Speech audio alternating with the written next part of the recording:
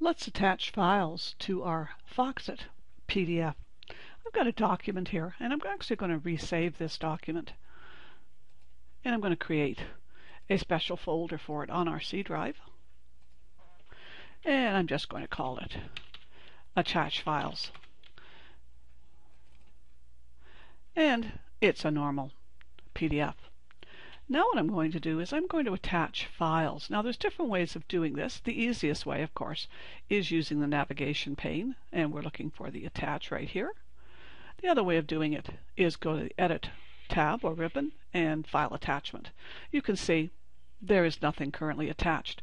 Across the very top, though, there is an icon with a plus sign. And let's add a file.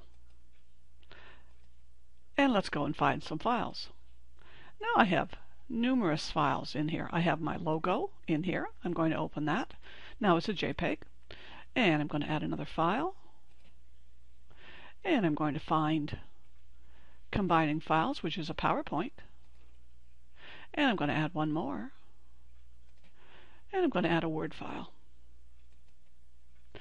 So notice there's a PPTX, a DOCX, and a JPEG. Do you think they're going to be converted to PDF?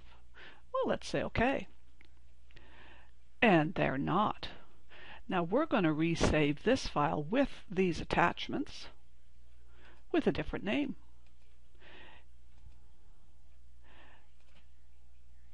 And we'll just change the name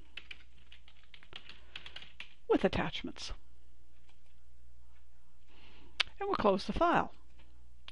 Now let's go down to our File Explorer, into our C drive, And notice the difference. Our attachments file is larger. Well, that's to be expected. Let's open that attachments file. And the original files are still here, as we can see. Now we could delete them, right? We can look at the settings of any particular one. We can add another one. We could create a subfolder in here or we can just open that attachment. Let's open that attachment. And we're going to open it, and it's going to open up in Microsoft Word. Now my Word is going to ask me to log in, which I kind of expected, but there's the file. It is going to be one PDF with these attachments within the file.